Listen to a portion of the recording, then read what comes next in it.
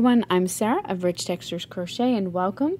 Today we're going to learn how to crochet the Granny Christmas Stocking, which is a modern take on a very classic uh, Granny Square crochet Christmas stocking pattern. Now this pattern today I have worked in a super bulky weight yarn so the squares work up quite quickly. Uh, the stocking is a great size, measuring about 24 by 13 inches laid flat. And uh, it just has a great texture to it. I'll pull back a little bit here so you can see. It's very, very simple construction and, uh, and just a fun, easy pattern to work. Now this uh, pattern is available here on the video as well as in written format which is on my blog at richtexturescrochet.com and uh, there you'll find some more photos of it as well. Each of the granny squares measures about 8 inches and uh, for it you're going to need about 300 yards of a favorite super bulky weight yarn. Today I'm going to be working with the Lion Brand Thick and Quick Wool-Ease yarn in this fisherman color. You're also going to need a 10 millimeter crochet hook. So thank you so much for joining me. While you're here, I invite you to take a look around. Uh, also to subscribe. There's uh, lots of other Christmas stocking patterns here on this channel and many other great free crochet patterns and stitch tutorials as well. Now our pattern today is worked in rounds and uh, it's worked by creating eight granny squares. So to work our granny squares in the super bulky weight yarn, we'll start by making a slip knot. And then by working a foundation chain of four. So chain four. And then join with a slip stitch into your first stitch to make a ring.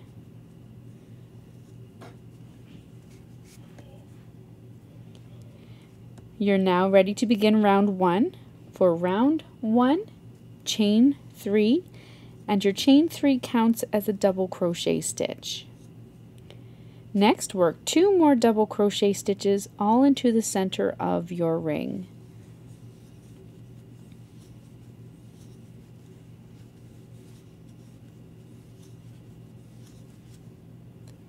Chain two. Now work three double crochet stitches all into the center of your ring. There's one, two, and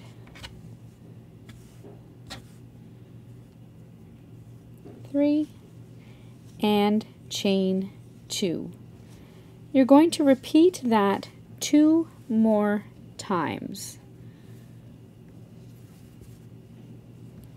Three, double crochet into the center of your ring.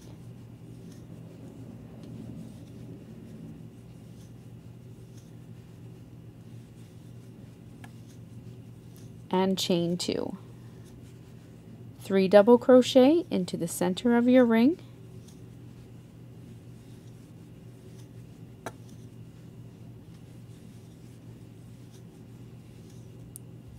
and chain two.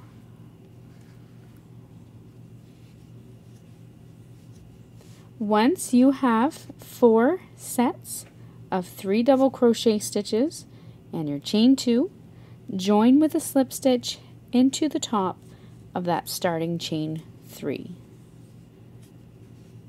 This brings you to the end of round one. For round two of our granny square, you're going to slip stitch into each of the next two stitches. And into the chain two space. Chain three, and this counts as a double crochet stitch. Now into that chain two space, work two more double crochet stitches.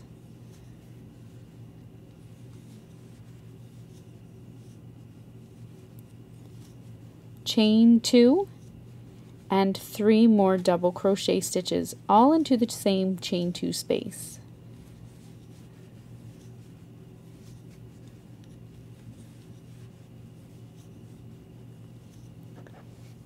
Skip the next three double crochets and into the next chain two space work three double crochets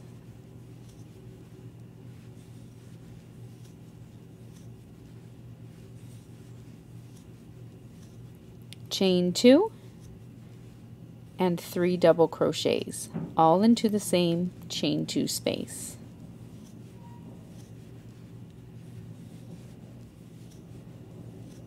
You're now going to repeat that into each of the next chain two spaces. So into the next one, three double crochets, chain two, and three double crochets, and then repeat for your last chain two space.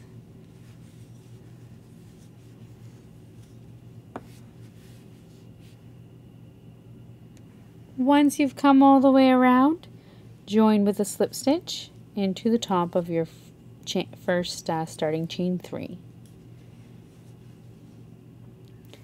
You're now ready to begin round three. For round three, slip stitch into each of the next two stitches and into that chain two space and chain three. This counts as a double crochet stitch.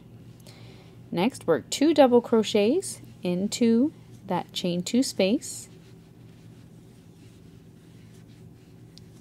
chain two and work three more double crochet stitches all into that same chain two space.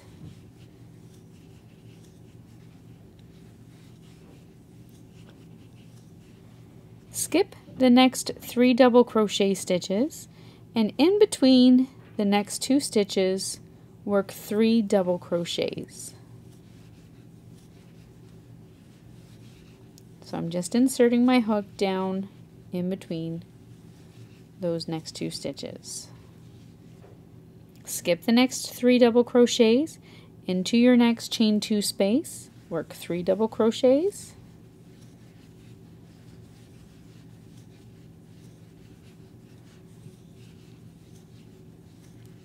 chain two, and three double crochet stitches all into the same chain two space.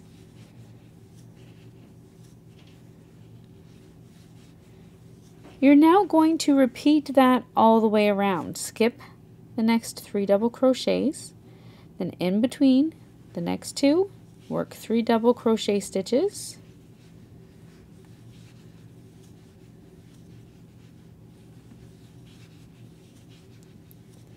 skip the next three double crochets into your chain two space, work three double crochets, chain two, and three double crochet stitches.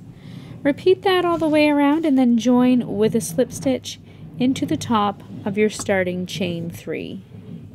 Once you come all the way around, you join with a slip stitch into your first stitch. That brings you to the end of your round three. There's only one more round to work in our granny square. And what we're going to do is chain one, single crochet into that first stitch, and then into each of the next two stitches. When you come to your chain two space, into this chain two space, work three single crochet stitches. You're then going to single crochet into each stitch all the way across. Then again work three single crochets into that chain two space and so forth. You're going to work one single crochet in each stitch, three in each chain two space all the way around your square when you come back to the beginning, join with a slip stitch into that first stitch, fasten off, and weave in your ends. You're then going to work seven more squares. So you'll for this pattern you'll want a total of seven granny squares and uh, then you can meet me back here and we will piece it all together.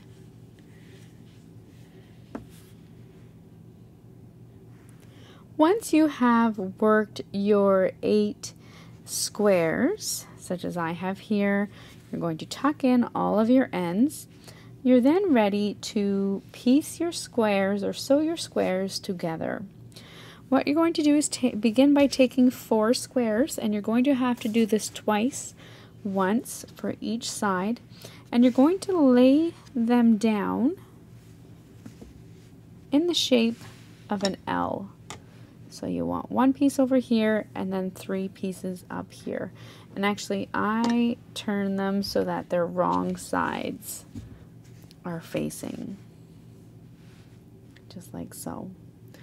You're then going to just simply take a yarn needle and matching up the sides together, you're going to sew your squares together. And all I did was just do a quick, um, I believe it's called a whip stitch, all the way around. So I'm working through both thicknesses and you just want to piece them together so that they are in the shape of an L and your L's will have to be pointing opposite directions in order for them to fit uh, together so that both the right sides are facing out. And you're just simply going to sew each of these sides together. just like so. And I, I used a stitch instead of crocheting them together because I didn't want there to be a little bit uh, of, a, of an extremely visible seam. So just go ahead, sew each of your squares together so that they are in the shape of an L. So you're going to sew here, sew here, and sew here. Go and do the same for the other side of the stocking and then meet me back here. Once you have your squares sewn together, you have a couple pieces that look like this. Your four squares in the shape of an L. And it's now time to sew these together. So what you want to do is you want to turn them so that the right side is facing out or facing in, sorry. You want your wrong your right sides together, your wrong sides facing out.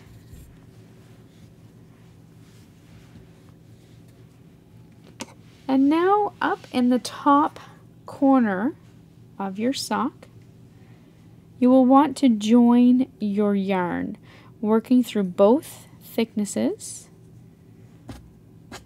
And then join your yarn. And we're going to crochet these sides together. If you wish you can continue sewing them. Uh, I just uh, I like crocheting my pieces together so I'm crocheting them together. So insert your hook working through both thicknesses chain one. Now you're going to simply slip stitch in each stitch working through both thicknesses all the way around your stocking. So inserting your hook through the top piece, then through the bottom. I'm working under both loops of each side of my square and I'm just slip stitching in each stitch all the way around. Because we worked that final round of single crochet stitches around each squares of the squares, it makes it much easier. You're just going to quickly slip stitch all the way around across the bottom of your foot, back up top, and then uh, until you come back up to the top of your stocking. Uh, at that point, don't fasten off. We still have a couple more steps before our Granny Christmas stocking is complete. So go ahead, slip stitch through both thicknesses in each stitch all the way around.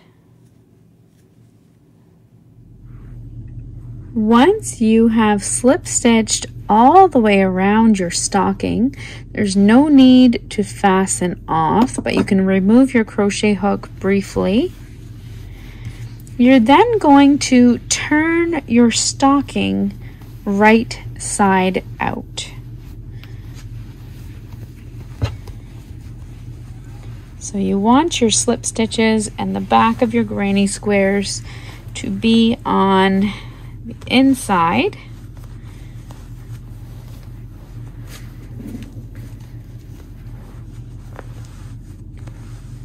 So there we go. You're going to turn it right side out And this time you can give your sock a little bit of uh, shaping so that your corners aren't too sharp if you'd rather one that's more of a traditional sock kind of style, but you should have it nice and tightly seamed all the way around. Your yarn is still attached up there at the top. You now have the right side facing. We are almost finished our stocking. What you'll want to do is chain one. We're now going to work the cuff of our sock. And for the cuff of our sock, we're going to work one half double crochet in each stitch all the way around. So into the top of your sock, all the way around the top, simply work one half double crochet in each stitch all the way around. When you come to your seams, and I'll show you as I come around here.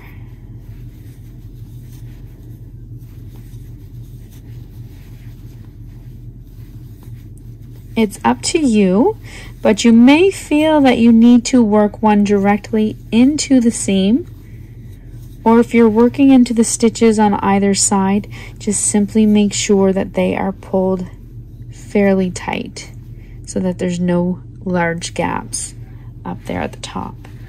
So we're going to continue across on the other side. I'm just going to keep working.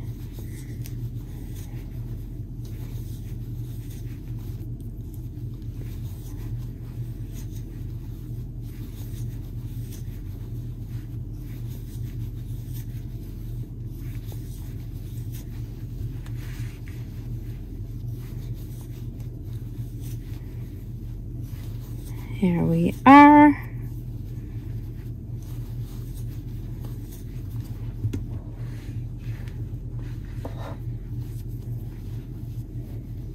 And because I don't want there to be gap, I'm just going to work one more and then join your yarn with a slip stitch into the top of that first stitch.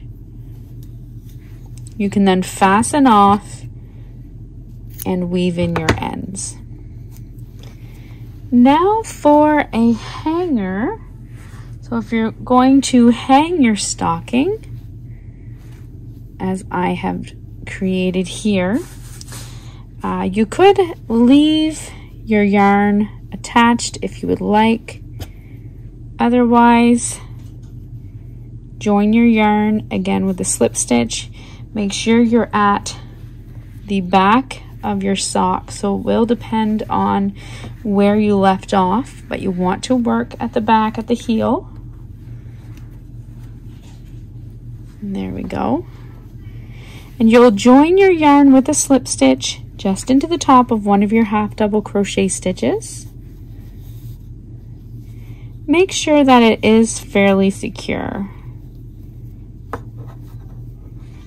You may want to go and uh, sew that, especially if you are anticipating that your stocking will be filled come Christmas time. Simply join your yarn. Then all I did was chain 10